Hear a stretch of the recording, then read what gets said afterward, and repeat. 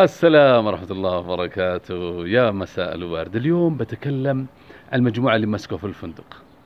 وكم ستستفيد الدولة من هؤلاء الأشخاص؟ هم حوالي 320 اللي في الفندق اللي في الرياض. ترى تكاليف وجودهم في الفندق غالي يعني حوالي 1500 الليلة الواحدة يعني قاعدين نخسر مبالغ ضخمة بوجودهم في الفندق.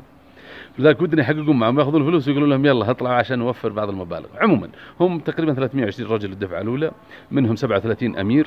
استحصلوا من 37 أمير 562 مليار أي ما عادل ميزانيه السعودية إلا شوية. في منهم 18 باكستاني في منهم 19 لبناني منهم 7 فرنسي منهم 8 بريطاني منهم 12 أمريكي منهم 6 يمنيين منهم 12 إماراتي منهم 3 هنود منهم 7 صينيين تقريبا. يعني مجموعة من التجار الكبار و85 رجل أعمال سعودي وهذول الدفعة الماسية. باقي في دفعات ثانية. استعادوا منهم حوالي مل... تريليون و200 تريليون يعني 1000 مليار المليار يعني 1000 مليون المليون يعني 1000 ألف.